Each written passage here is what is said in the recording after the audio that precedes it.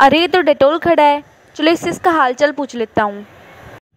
और भाई डेटोल कैसा है?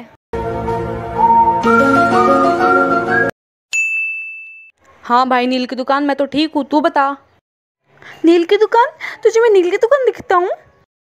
हाँ तू नील की दुकान है। तुझे पता भी है मेरे रेट कितने हाई हैं? पता है तुझे? जितने में तू एक आता है उतने में तो मेरी डबल प्राइस होके छोटी वाली बोतल आती है। समझा? बस बहुत सहन कर ली मैंने अपनी बेइज्जती। अब मैं अपने भाइयों को बुला के लाता हूँ। देख तेरे साथ क्या करते हैं।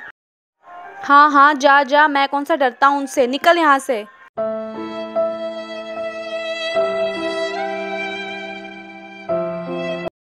अरे भाई बहुत दिन हो गए किसी से पंगा लिए। हाँ भाई बोर सा हो रहा हूँ मैं भी। भैया भैया आज डेटोल ने मेरे साथ बहुत बुरा किया है। अरे ये तो छोटू की आवाज़ है। चलो चल के देखते हैं क्या हुआ है।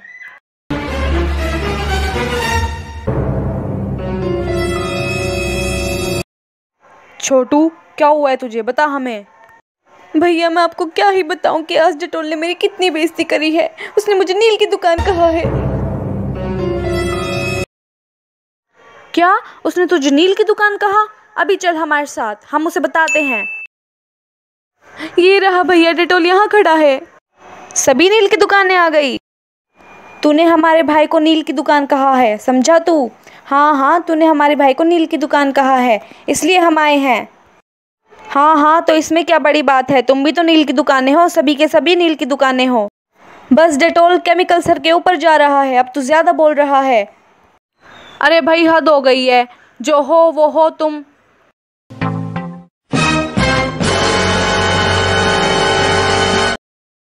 डिटोल बहुत सुन लिया। अब देख तेरे साथ हम क्या करते हैं। अरे अरे भैया सॉरी सॉरी भैया सॉरी प्लीज़ मुझे माफ़ कर दो। क्यों डिटोल आया तेरे को मज़ा? कैसे लगा तुझे अभी? सॉरी भैया सॉरी नेक्स्ट टाइम से मैं कभी नहीं करूँगा ऐसा। थैंक यू भैया थैंक यू सो मच अगर आज आप ना होते तो मैं सुसाइड ही कर लेता। मेरी जान बचाने के लिए शुक्रिया।